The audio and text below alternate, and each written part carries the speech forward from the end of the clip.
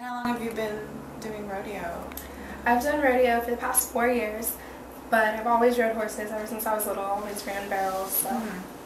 Is that how you got into it? It Yeah, yeah. It was growing just, up. Yep, just big part of my life. All my friends did it, so it just kind of fell into it. And what sort of events do you specialize in? Um, I've done all the events except for cutting, but this year I do barrels, poles, and tie goats. Now, what's cutting?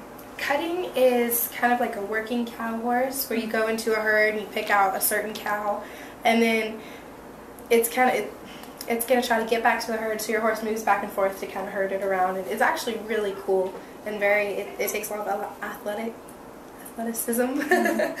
so yeah, it's really cool to watch. And so, what will you be doing um, at the Plymouth Rodeo coming up?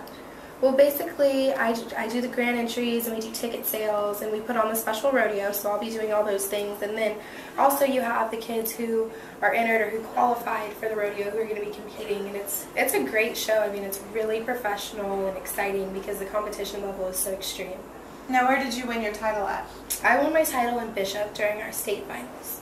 And and so, what categories or what activities did you compete in at that one? Basically, you do a written test, an interview, a two minute speech, a riding pattern, an impromptu question, and then you're judged on appearance, personality, and modeling. Okay. So it's pretty lengthy. Yeah. So it's not just about riding the horse No, they really want somebody you know who can represent rodeo well and who's knowledgeable and has good manners. Mm-hmm. So And what grade are you in? I'm a senior this year. Yeah. Done a great, great job this year representing high school rodeo. We've traveled quite a bit and had a really wonderful time. I'm the queen for a full year, so I won my title in June, and then this June I'll give it up to somebody else. Okay. And so, what are your plans after you graduate?